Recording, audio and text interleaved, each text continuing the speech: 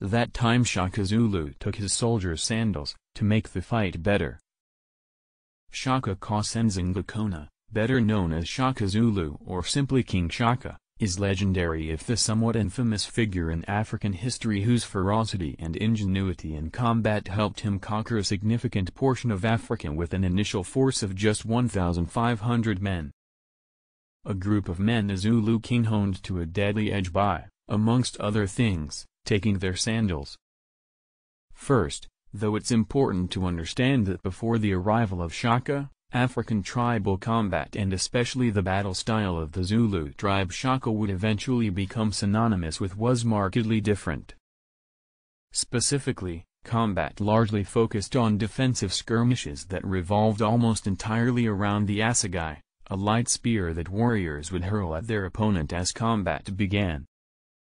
Shaka was not a fan of this technique as most of the time the thrown spear would be dodged or blocked, only to be thrown back. So, rather than throw a spear, Shaka would charge towards his enemies and stab them to death, a revolutionary technique that made him one of the most feared and respected warriors in his tribe.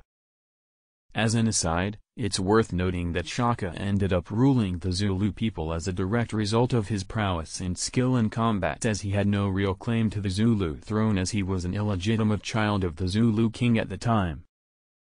In fact, according to legend, Shaka's own name literally translated to parasite after his father insisted that his mother couldn't be pregnant and was instead suffering from intestinal distress caused by the Ishaka beetle. It was only when Shaka was born that the king reluctantly allowed him to join his tribe, at which point Shaka set about proving he was a fucking badass of the highest order. For example, in addition to charging his opponent to engage in hand-to-hand -hand combat, Shaka spent a considerable amount of time hardening his body to the elements and stress of combat, specifically his feet. You see, at the time Zulu warriors wore cowhide sandals in combat, which Shaka found uncomfortable and discarded. This small change made Shaka a force to be reckoned with in battle, allowing him to deftly slip thrown spears and close the distance with the enemy in moments. At which point he'd employ his trademark stabbing people the fuck to death technique. This tactic ended up being so useful that when Shaka assumed the throne he immediately trained his army to do it too discarding the traditional assegai and instead of teaching his men to fight with a smaller spear more suitable for stabbing called an anakawa. A weapon we feel compelled to mention was named that, reportedly, because that was the exact sound men made when they were stabbed by it. Which is metal as fuck. By far one of the more bizarre changes Shaka insisted upon though was that all his men stopped wearing sandals, something he was so serious about that he made wearing them in battle an offense punishable by death.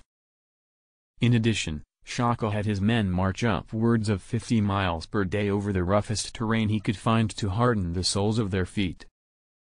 Sometimes intentionally making men march over thorns and jagged rocks all of which combined to make his soldiers both incredibly mobile and exceptionally deadly in combat and helped him conquer a significant portion of Africa through the brutal and rapid subjugation of rival tribes.